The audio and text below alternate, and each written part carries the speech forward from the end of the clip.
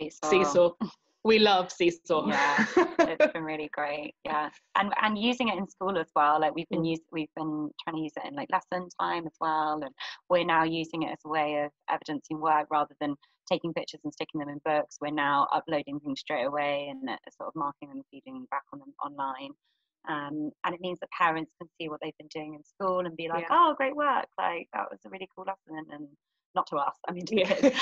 Hey, well. Yeah. But I think especially now we don't we don't have that communication with parents at the gates Mm, anymore. We don't yeah. have that dialogue with them. So it opens up much yeah, a, a- like a much nicer route of contact rather than them having to email admin who then forward their email to us. It's like it's a Yeah, lot more personal. separate, yeah. um, and it's really lovely. And it also allows um, more blended learning. So if kids are off because a member of their family has COVID, Yeah.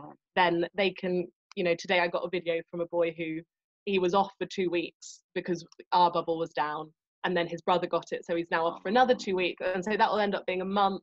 And it's just, it's a mm. nice way. So we sent him a video. He's been able to send one back, and to keep that communication going and allow him to keep uploading work so he feels like he's part of the class and also but paying for seesaw Yeah. because i think that that was also a really a real game changer because i think although obviously you know we wanted to do a trial it was you don't want to because it is expensive you don't want to just throw money at it straight away um having the full paid version and everything that it can do has been kind of yeah just a real game changer in terms of how we're doing the virtual learning type things so pay for seesaw Yeah.